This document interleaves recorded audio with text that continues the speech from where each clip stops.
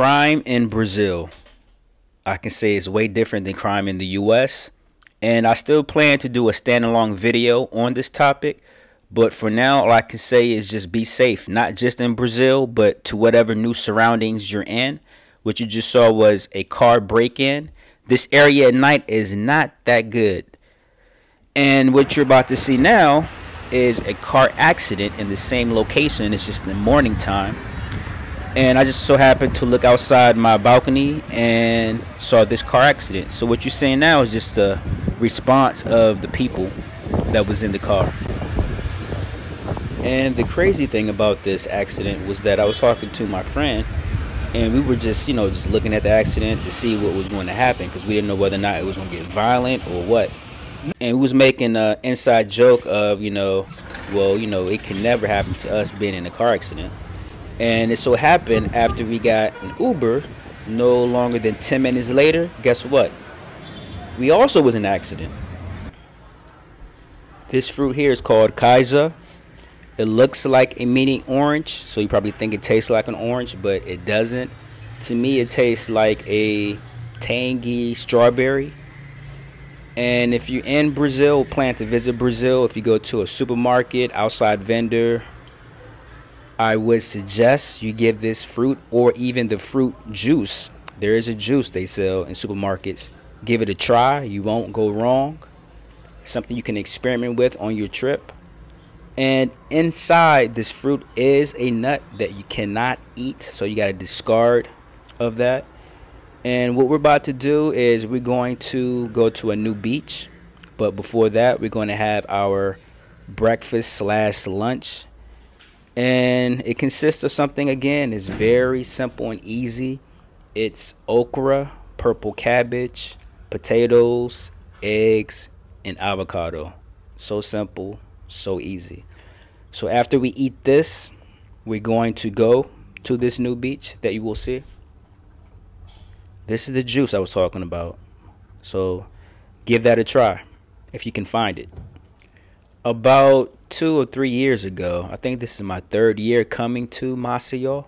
It could be two. I tend to forget because I travel so much and travel so much just alone in Brazil to different states. I tend to forget. But my first time coming to Maceió, meeting her, and we having our first dinner date, just talking about things that we like and things that we don't like she had saw the way that I eat and she was asking me, okay, well, you don't eat pork, you don't eat beef, you don't drink or smoke anything.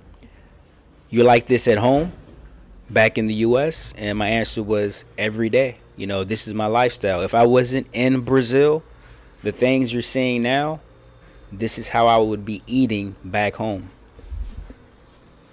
The only thing I don't like about this apartment is the dryer the dryer seems not to dry all the clothes all the way but at least we do have a rack outside that we can you know dry clothes you know the natural way but i think the owner knew that the dryer isn't working that well so that's why he does have that out there. But that's very minor compared to all the other pluses of this apartment I mean, the great location, the beach is right there. There is a washer. We can cook inside this apartment. You know, the neighbors are cool. We have nearby restaurants, grocery store, pharmacy right there. So the dryer not working completely is, is very minor, you know, so that's not a big problem. So it's about that time, you know, the food is ready. We're about to eat. And then from here, we're going to catch an Uber to this new beach you will be seeing. And if you haven't visited Brazil before, there is Uber in Brazil. And just like in the US, you can buy Uber. Like, I think it's like a credit card you can use. And you can like reload it on the app. So you can use that instead of using cash because you are allowed to use cash to pay for Ubers in Brazil. So if you don't want to do that, you can buy this Uber card, which I'll show in a moment that you can get at grocery stores or even pharmacies. And I think they're in increments of five reais. So you find some that are like five reais, 10 reais, 15 reais, and it just keeps going up. And if I'm not mistaken, you also can add a specific amount if you want to go over. I think um, I think it's 100 reais. I might be incorrect, but just go to a pharmacy or grocery store and look for these Uber cards that you can use. Here it is right here. Mine's is 25 reais, and that's what I'll be using. In the beginning of this video, I mentioned we were in an accident, and here is how the accident went. And it was our driver's fault because he wasn't paying attention and he was on WhatsApp. He basically hit a motorcycle and kept going, and they tracked him down.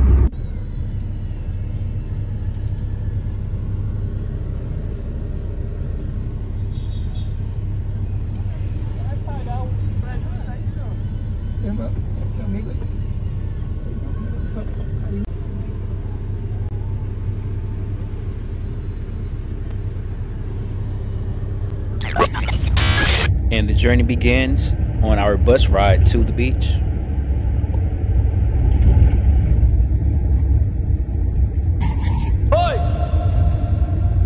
She's brave. I cannot do this. I cannot trust a driver for a long distance, especially on a bus.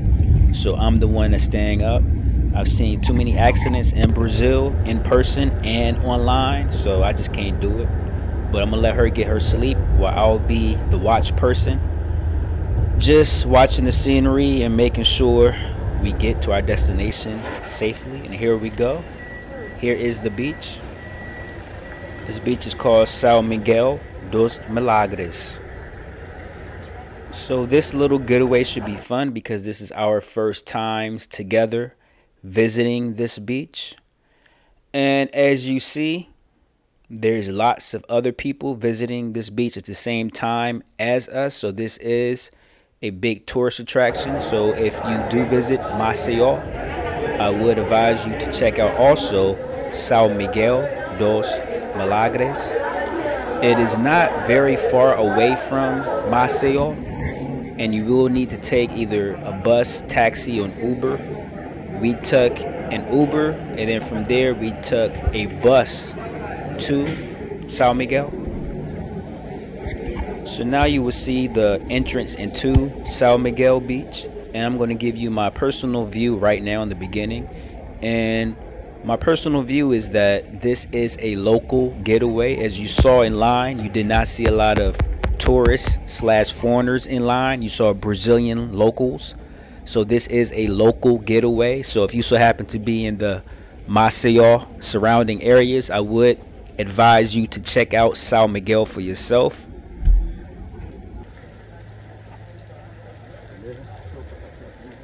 Go?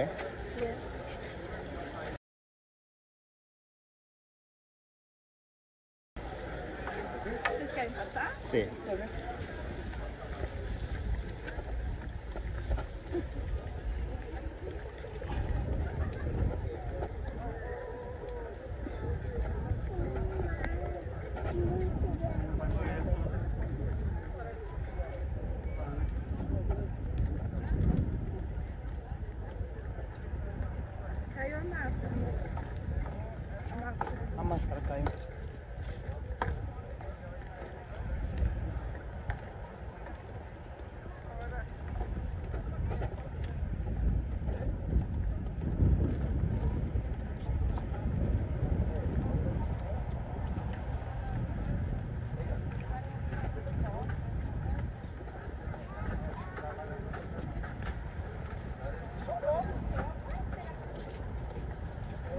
Here we go. Welcome to São Miguel dos Milagres. And as you see, this is a nice beach. Unlike other beaches, you don't see lots of dogs or stray dogs on this beach, which is a plus. You have restaurants as well as you have water activities you can pay for at São Miguel. Also, what I noticed is that it's lots of land on this beach that isn't occupied by restaurants, houses, or anything. It's just coconut trees and nature. That's all. And you will see some of this in a few minutes. So that's gonna be the boat like that? Fuck. That's small.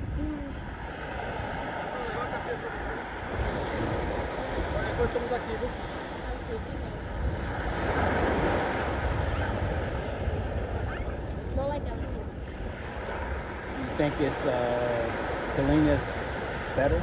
Linda. Yeah. It looks like uh, Galena. A little bit. No, no, it looks like Francês, like over there.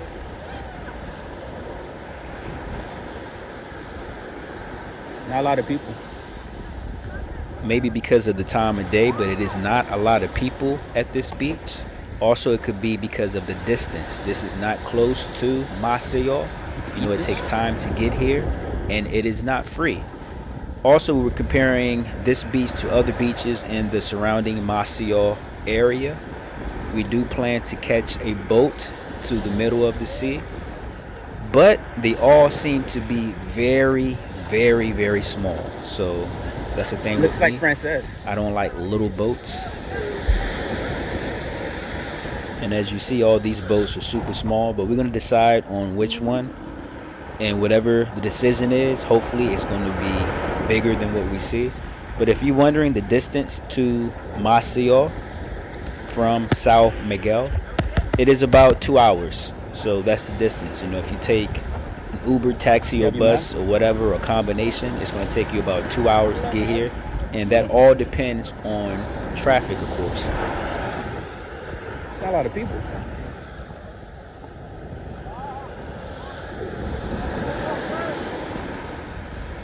I think we're not gonna find a restaurant. I don't think so. I think it's one. Yeah. Maybe. I don't know.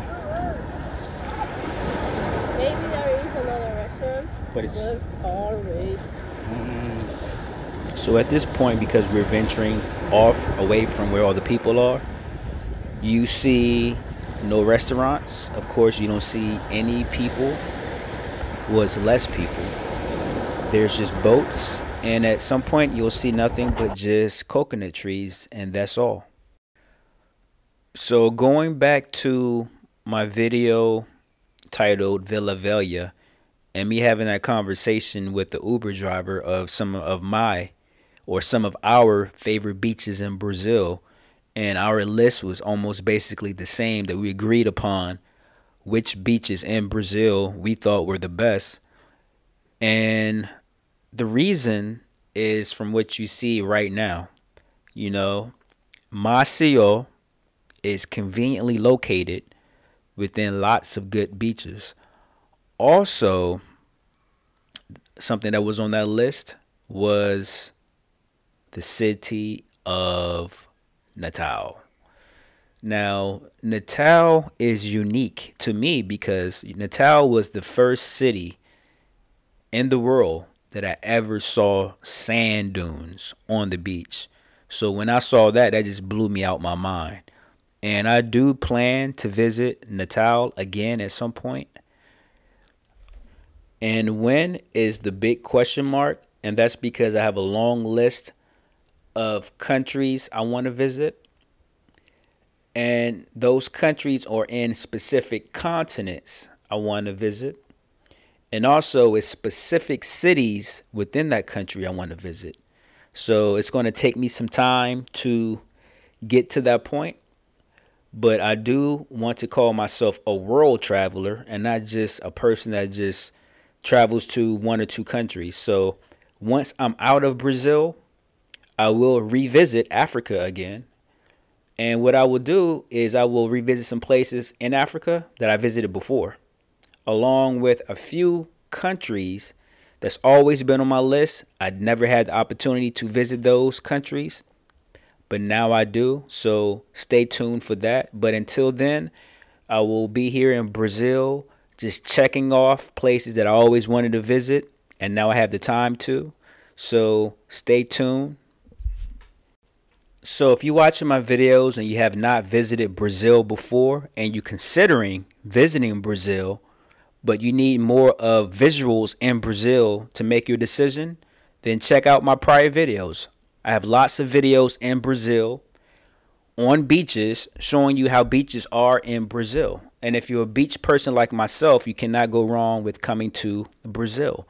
Now I'm going to pause for a moment because I'm trying to think what other countries in the Americas, meaning North America, Central America, and South America, that has beaches comparable to Brazil? Is none. In North America, in the US, I would say maybe some of our best beaches are in Florida. The state of Florida cannot compare to any state in Brazil when it comes to beaches. Brazil wins hands down. Central America, put an X on that. There's no country in Central America that has beaches that's comparable to Brazil. Now you have South America. In South America, next door, you have Colombia. Now, Colombia beaches are okay, but in my opinion, it's nothing compared to Brazil. You have Cartagena. Cartagena has some okay beaches. I don't really like Cartagena that much, but it's okay. Nothing comparable to Brazil. Santa Marta, eh, it's okay, but you cannot compare Santa Marta to any state in Brazil when it comes to beaches. But in Colombia, you have not on mainland Colombia, but it's an island called San Andres that's a part of Colombia. The beaches there are nice. You know, I would say that's my number one spot when it comes to beaches in Colombia. But again, San Andres is nothing comparable to any state or city in Brazil. So that's the reason why you should come to Brazil if you like beaches. You have lots to choose from. It's many options. So as a first timer visiting Brazil and as someone that has visited Brazil before, I'm pretty sure you're going to agree with me. Make sure you make that first purchase when you're coming to Brazil to Rio because Rio would be the best representation of Brazil. Also, you have many beaches in the city of Rio. The state alone is gigantic, but you still have lots of beaches in Rio. So make sure you check Rio out first, and then you can come here to Maceió. You can discover Salvador, Fortaleza, Natal, Recife. You have so many different options along the coastline of Brazil to choose from. But make sure that first flight purchase be to Rio.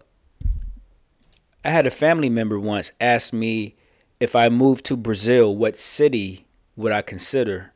And the answer was I do not know. Reason is, is so many cities I like in Brazil. Maceió being one of them. But also I do like Natal. I like Fortaleza. I like Salvador. It's just so many cities I like along the coast of Brazil that I wouldn't mind moving to. So the answer is still a question mark with me. I have no idea. But something that I do know that I do not like is I would not like to move to a city in Brazil that has lots of tourism. That's number one. So, if anything, like what you're seeing right here, this surrounding area around Sao Miguel, is not a lot of development in this area. So, this would be perfect for me. It's cheaper living, you have beaches, you have nature, everything is here.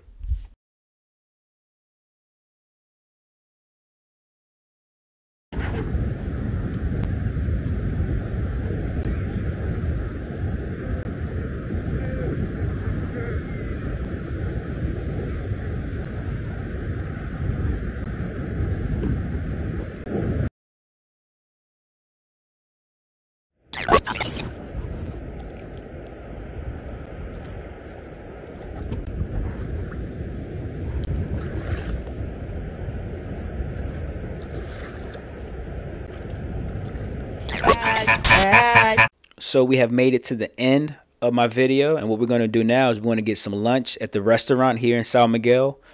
And then after that, we're going to come back on the beach and stay for a little bit. And later on tonight, we're going to go to our hotel that I booked earlier that's near this beach, San Miguel. So we'll be here for two nights. And then after that, we're going to return back to Maceió because she has to work. But if you made it this far in this video, again, thanks for watching. And if you have not already, go ahead and subscribe to my channel. And if you have any comments, leave those because I do reply to all my comments. And peace out.